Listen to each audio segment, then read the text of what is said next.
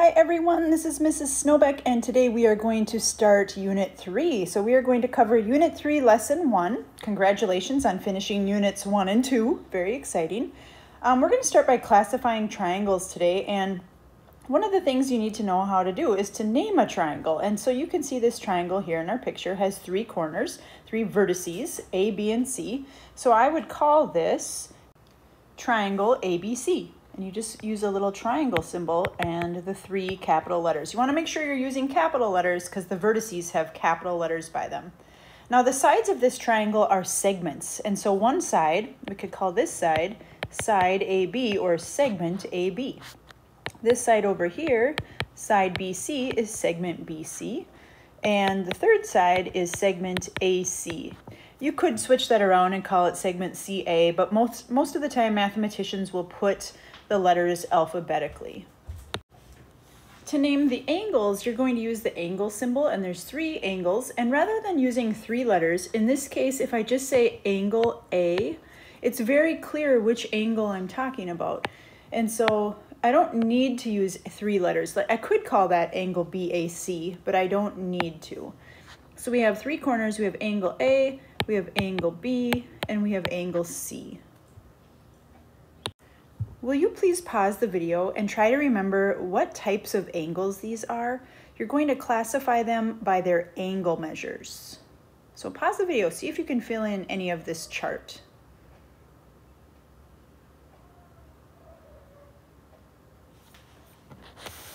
All right, so the first uh, triangle is an acute triangle.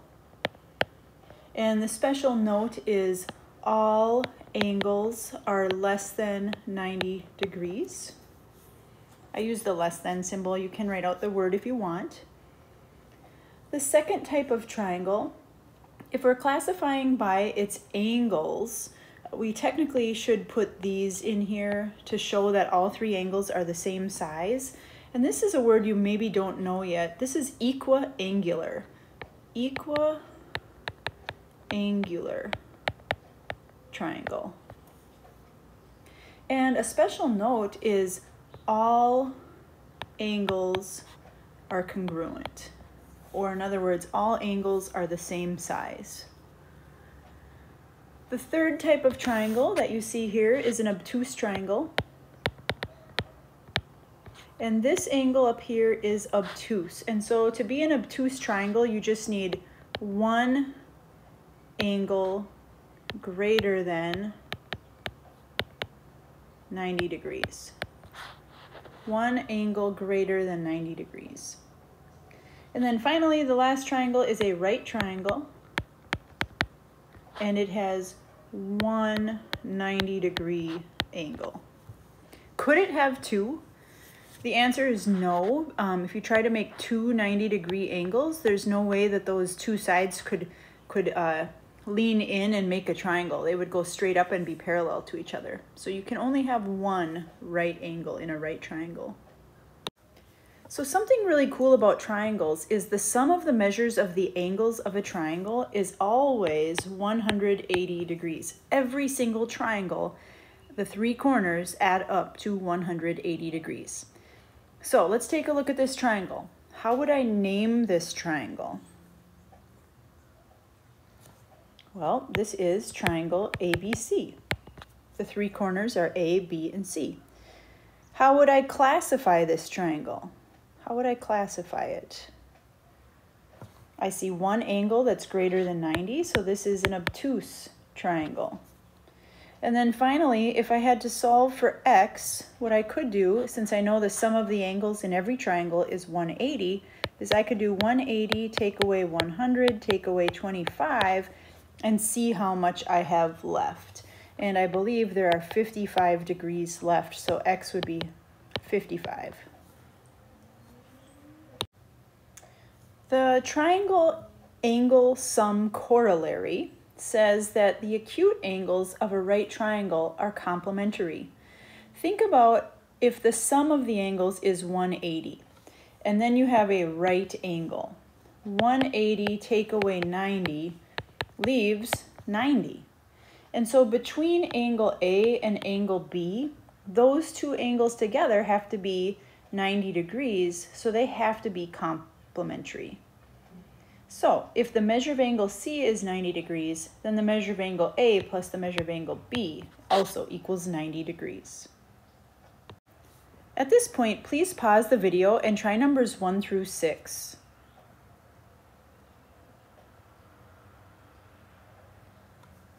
Good, hopefully you tried numbers 1 through 6. Let's take a minute and go through the answers. Number 1, what type of angle is triangle DGK? Well, here's DGK, so we're talking about that triangle there outlined in red. Um, I notice this 90 degree corner up here, so that would be a right triangle.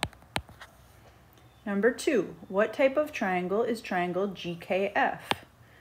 So GKF is the blue triangle. Now, one thing I notice is up at the top, this is 65 degrees.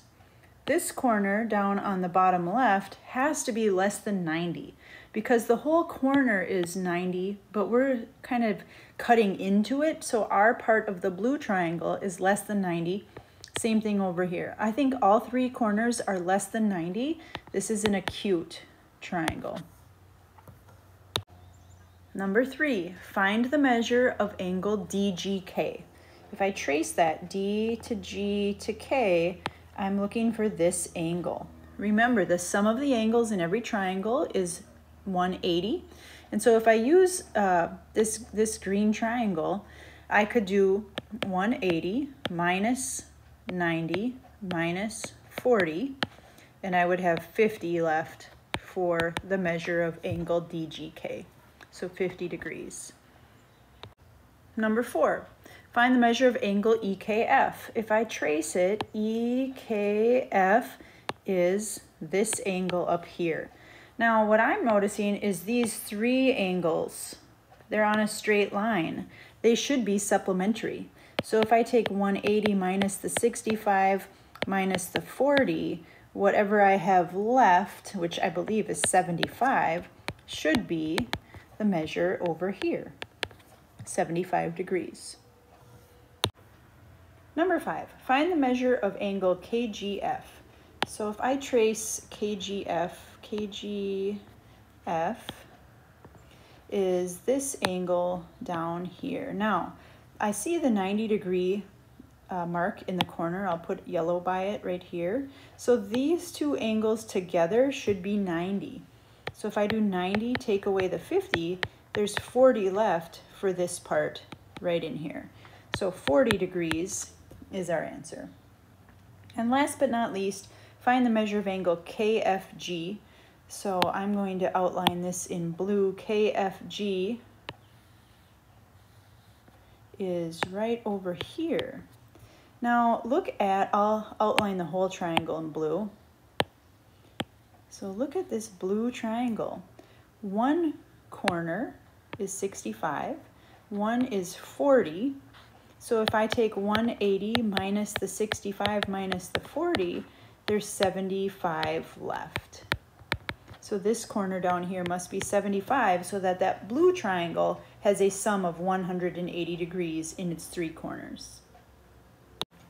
Again, pause the video and try numbers 7, 8, and 9.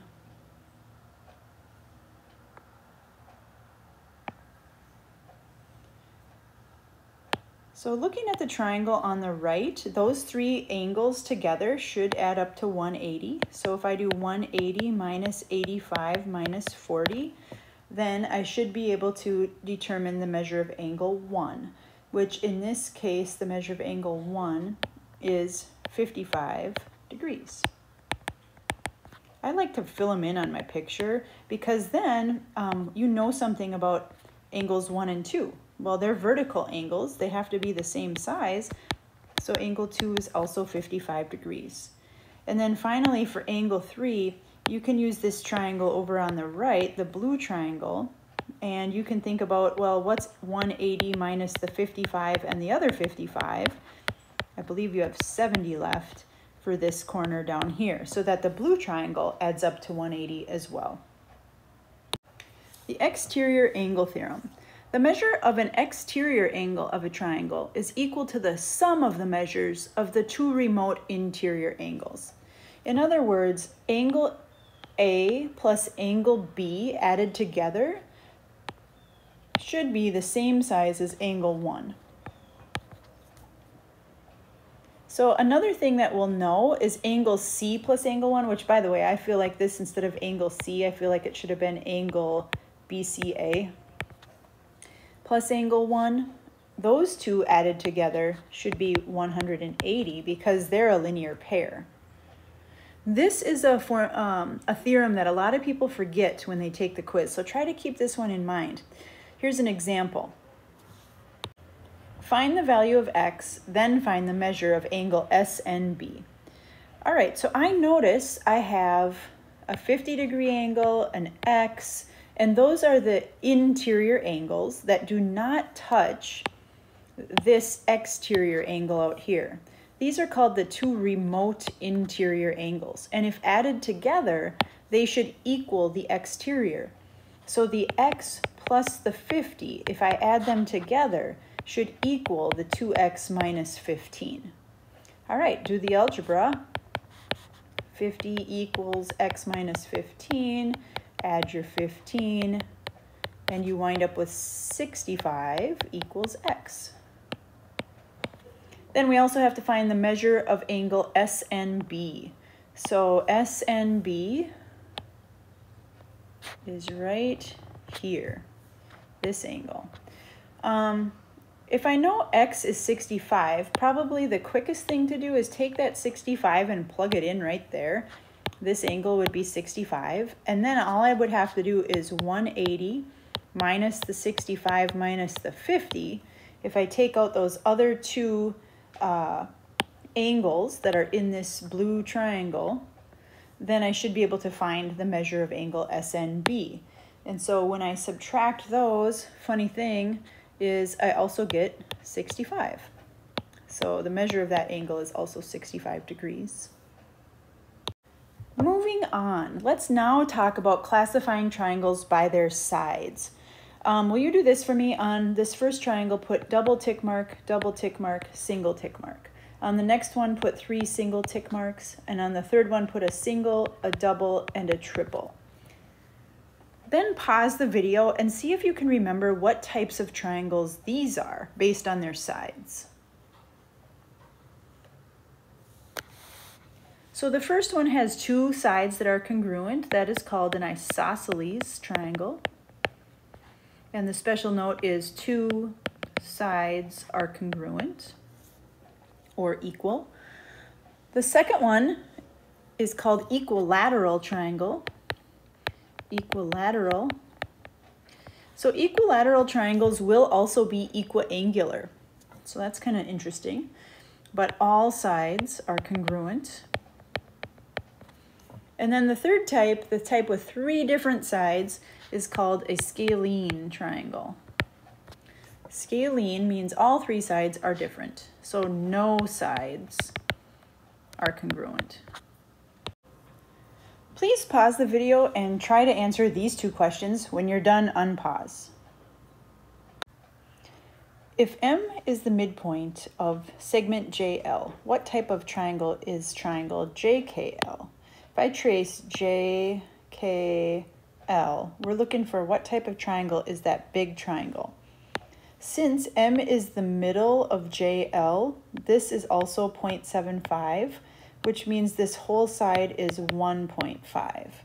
So if we look at the three triangles, uh, or the three sides of the blue triangle, we have 0.75, we have 1.3, and we have 1.5. They are all different, so that will be a scalene triangle. What type of triangle is triangle JMK? So JMK is this red triangle. Notice the sides are 0.75, 0.75, and 0.75. They're all the same, so that is an equilateral triangle. For this next one, we will want to draw a picture. It says, if triangle ABC is isosceles with segment AB congruent to segment AC, Will you guys try to draw that? What would that look like?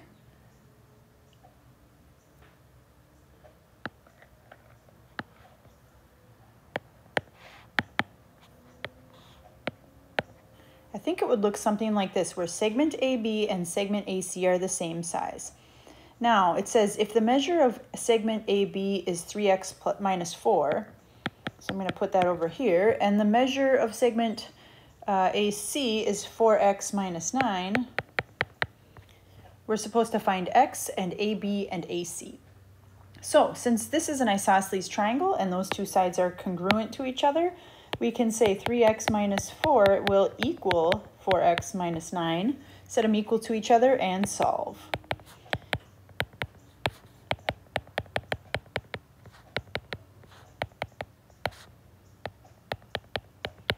It looks to me like x is 5.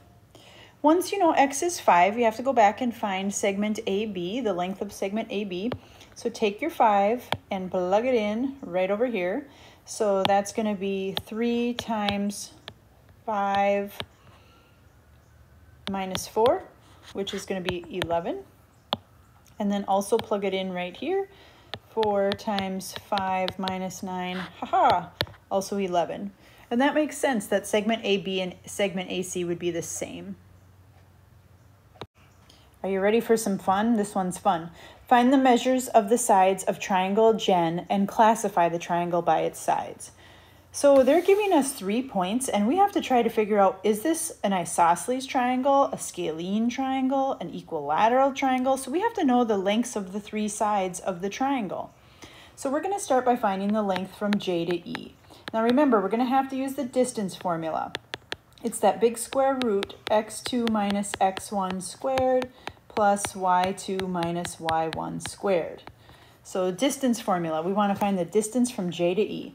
So we make a big square root, and I'm going to do x2 minus x1, so 1 minus 4 squared, plus negative 3 minus 5 squared. I'm getting my numbers from j and e. Then I simplify. 1 minus 4 is negative 3, and negative 3 minus 5 is negative 8. When you square a negative, it will become a positive. So this is going to become positive 9, positive 64. That is root 73. So the square root of 73 is not a nice number, but if I type it in my calculator, it's about 8.5. All right, well you now pause the video and I want you to do the next two do segment EN and segment NJ. Find their, their lengths or their distances. And when you're done, unpause the video. So if you tried EN, kind of cool, we also get root 73, which is approximately 8.5. So at this point, I know it's not going to be scalene. There's at least two sides that are the same. So now I have to do my last one. So if you haven't done it yet, go ahead and pause the video and do segment NJ, find that distance. And so for the distance from N to J, I got root 36, which is 6. So if I'm looking at the three lengths, two of them are the same, that will be an isosceles triangle. Two sides congruent. So that's it for Unit 3, uh, Lesson 1. Go ahead and try the practice 3.1 and then submit it to me when you're done on Schoology. Let me know if you have any questions. Have a great day.